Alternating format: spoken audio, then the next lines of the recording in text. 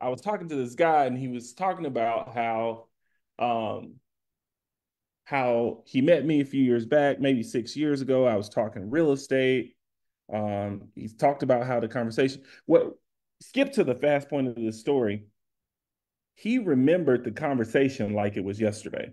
And so what ended up happening was he had found a deal, right? He had talked to somebody that had told him about uh, this little $30,000 house in Tupelo, Mississippi. And he remembered from six years ago that I buy houses in Tupelo, Mississippi. And I was the first person that came to his mind from a conversation six years ago. Okay. Now, I have a question for you all as we talk about staying power. If you're on Facebook, we're talking about staying power. Like, if he would have called me today and I wouldn't have been doing real estate six years later, like, what would I have done with that opportunity?